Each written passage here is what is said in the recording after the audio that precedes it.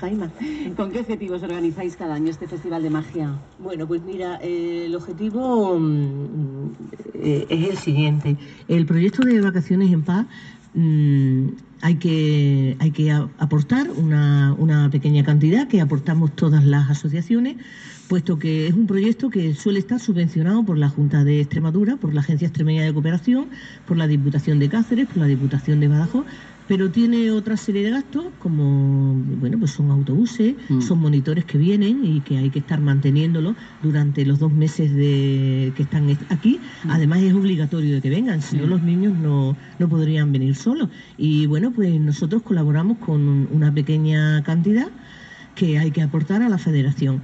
Eh, es para eso, pero no solamente es el proyecto de Vacaciones en Paz, tenemos otro proyecto que es una maravilla, en la que tres asociaciones, eh, a través de, de- de nuestra federación, mm, se llaman desayunos solidarios y le damos una comida al día a más de 700 niños de edades comprendidas entre los 3 y 4 años. Y os puedo decir que es la única comida al día mm, que es una comida nutritiva, Mm. porque eh, es a base de leche, yogures, eh, huevos, quesitos, el quesito es el caserío, eh, y, y eso les viene, pues imagínate, les viene de maravilla.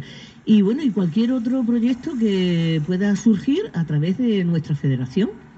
Sí, claro que tenéis muchos gastos, evidentemente se realizan este tipo de actividades pues para conseguir esos fondos, ¿no? Con los que Eh. sufragar luego eh, no solo vacaciones en paz, que es la Avenida de los Niños Saharauis, los billetes que son carísimos, etcétera, etcétera, sino otras actividades. Mm, Efectivamente, eh, tenemos que tener en cuenta que un billete, si no estuviera subvencionado, eh, costaría aproximadamente unos 750 euros. Es una barbaridad. Claro, es muchísimo, sí es cierto. Bueno, vamos a recordar dónde va a ser el festival, a qué hora, el día 7. de Bueno, marzo. pues mira, tenemos aquí a nuestro gran mago, y, y ya no solamente mago, es un, un gran amigo, ¿eh? que es nuestro amigo Ferpa, que él, él es el que se preocupa de llamarnos Mm. y, y de decirnos, oye, la gala, ¿para cuándo? Que ya lo empiezo a publicar, ¿vale? Y bueno, pues él rápidamente lo organiza todo. eh, yo solamente tengo que hacer las entradas y reservar el Teatro Imperial. Él se ocupa de localizar al resto de Él magos. se ocupa de todo. Bueno, eh, nos vienen desde Madrid, ¿eh? como es Tonio Velayos. Mm, Este señor eh, es encantador, este ya es el tercer año que viene. Nos vienen desde Talavera, de la de Toledo, que es Aurelio Castilla. Nos viene José Mágico, que también viene desde los Santos de Maimona. Japón, Oscar, que nos viene de, de Cáceres y después, bueno, pues nuestra gran presentadora, lo más divertido que he visto yo en todos los días de mi vida, que es una gran mujer además, que es Isi Cobos, Mm. ¿vale? Eh, es una cantante maravillosa y es la que presenta en todo momento la actuación. Y bueno, pues de verdad mm, es un espectáculo mm, genial. Alguno de ellos eh, ha trabajado en Madrid, en, en la sala, en una sala que hay de, de magia, Mm. y os puedo decir que la entrada son 45 euros. Sí, es verdad. Aquí nuestra entrada mm, son 5 euros Mm. y para menores de 10 años son 3. Entonces yo animo a la gente que venga el día 7 de marzo al Teatro Imperial a las 8 de la tarde. Pasará una hora maravillosa, le costará poquísimo. Y hay una cosa que yo digo siempre, mm, para que nosotros podamos ayudarlos, Mm. Eh, don Benito nos tiene que ayudar a nosotros. Sí, es verdad, hay que llenar ese teatro, ¿eh? Efectivamente. Cinco euros nada más la entrada, tres euros los niños, es que es una cantidad simbólica. mira, una cerveza. Claro, y a vosotros os hace mucho bien. Pues ¿eh? imagínate, imagínate, poder colaborar con Vacaciones en Paz y con cualquier proyecto que nos proponga nuestra federación. Bueno, hay que decir que todos los magos eh, lo hacen de forma desinteresada. Bueno, sí, bueno, lo hacen de forma desinteresada, no cobran absolutamente nada. Algunos, por supuesto, debido a la distancia, se tienen que quedar por la noche en Don Benito, ellos se pagan su hotel, pero lo más curioso es que, como dicen que es solidario, se pagan la entrada. Ay, madre, qué detalle. Entonces yo por eso... o sea, no solo es que no, no Claro. cobren, sino que encima les cuesta. Sí, sí, claro, encima les cuesta. Y entonces yo por eso mm, insisto mucho, sobre todo a nuestras familias de acogida, en que si ellos hacen esto, las familias de acogida también tienen que hacer un pequeño esfuerzo. Claro que sí, pero además es un esfuerzo mínimo, ¿no? Bueno, en, en este caso, comparado con ellos, fíjate, se desplazan, eh, Bueno. con lo cual hoy están gastando gasolina, eh, están gastando dinero en ese desplazamiento, se se quedan a dormir los que viven más lejos, se, se tienen Sí, que pagar sí. el hotel. Encima se pagan la Se entrada. paga la entrada, sí, y no hay forma de decirle que no, que no, que no hace falta que adquiera, y que sí, que sí, y al final eh, compran su entrada. Bueno, qué detalle, la verdad. Bueno, pues Increíble, increíble. Pues hay que apoyar a estos magos, hay que apoyar a la Asociación de Amigos y Amigas del Pueblo Saharaui de aquí de Don Benito. ¿Dónde podemos conseguir esas entradas en venta anticipada, Pues mira, de momento todas las familias de acogida disponen de esas entradas y las vamos vendiendo. Y si no es muy sencillo, marcar mi número de teléfono 615 50 31 66 y yo lo acerco donde me digáis. Bueno, si no se han quedado con el número de Marisa, nos llaman aquí a, a la COPE y les damos el número de Marisa sin ningún problema. Y después, bueno, el día 7, pues por supuesto, en taquicha. Y esperemos poner el cartel de a- entradas agotadas. Ay, ojalá, ¿no? Eso, vamos, eso sería mm, algo maravilloso. Bueno, todavía resta, ¿eh? Y hay que animarse y conseguir esas entradas muy baratitas. 5 euros adultos, 3 euros niños. Efectivamente. Eh, un espectáculo de magia de calidad. Por supuesto, es genial, es una maravilla. y todo lo que se recaude pues para la asociación, para Vacaciones eh, en Paz y para el resto y, de proyectos. y bueno, también tengo que dar las gracias al Ayuntamiento de Don Benito ¿eh? Mm. por la colaboración que hacen con esta gala.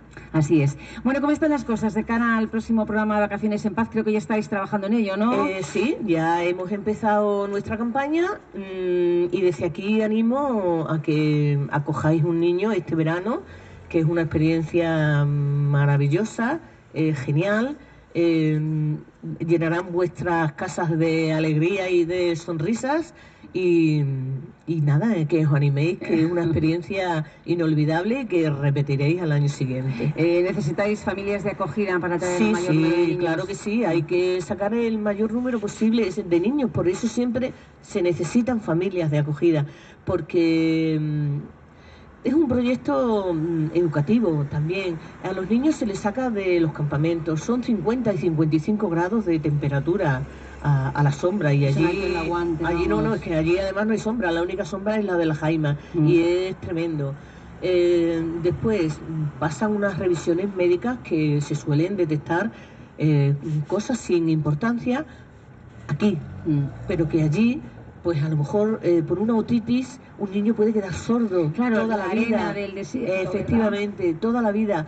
Eh, por ejemplo, eh, lo último, lo último que ha habido, creo que ha sido un niño por la parte de Andalucía, no sé ahora en qué sitio en concreto, que estaba ciego, Mm. estaba ciego. Y es que resulta que tenía unas cataratas congénitas. Pobrecito. A ese niño se le ha hecho una operación, imaginaros ya cómo son las operaciones de cataratas, Mm. y ya ha vuelto a los campamentos viendo y con sus gafas. O sea, que es que se pueden Claro, hacer. lo que aquí se soluciona efectivamente. sin ningún problema, allí es un drama. Allí no hay ninguna solución, Claro, allí no, no tienen nada. Efectivamente, allí no hay ninguna solución. Entonces, y después, por supuesto, estos niños que vean cómo es una familia trabajando, porque allí no hay trabajo, son refugiados, Mm. están en un campamento de refugiados, que vean cómo es una familia, cómo, se, cómo hay un trabajo, eh, y después, bueno, también que se lo pasen, pues imagínate, divinamente, yendo a sus piscinas, eh, yendo incluso, hay muchas familias que eh, sus vacaciones las acoplan para cuando ellos vienen, para poderlos llevar a la playa. Sí, y, que conozcan, bueno, ¿no? la claro, playa, el es mar. que mm, eh, para nosotros, para cada familia que acoge un niño, es un hijo más. Mm. Y, y, bueno, es, es una maravilla. Y así se le trata, ¿eh? Como Efectivamente, más, como ¿eh? uno más, Y los niños que más. hay en cada familia también, como un hermano que están deseando, hermana que están deseando que llegue. Efectivamente, efectivamente. Ellos cuando llaman empiezan a preguntar por la familia y cómo está mi hermano tal, cómo está mi hermana, cómo te preguntan hasta por los vecinos, es tremendo. Sí, es, Así una- es. es- es maravilloso. Entonces yo animo a, a la gente a que esta experiencia Claro, que la lleven a cabo, que si se lo han planteado alguna vez, oye, pues que lo piensen, que lo abren en familia, oye, la posibilidad de tener a un niño saharaui y después que, que somos una gran familia y que durante el proceso, cuando los niños vienen, ellos no van a estar solos, porque mm, está la asociación, detrás de la asociación tenemos a una delegación saharaui, que es a través de donde vienen los niños, y tenemos a nuestra federación, que también apoya en todo momento y es también a través de donde vienen estos niños. Entonces no van a estar solos en ningún momento, caso de que necesitaran una ayuda, lo que sea, en todo momento cuentan con, con nosotros. ¿Cuántos niños eh, vinieron el año pasado eh, a través de Amal? A través de Amal vinieron exactamente 31. Ujú.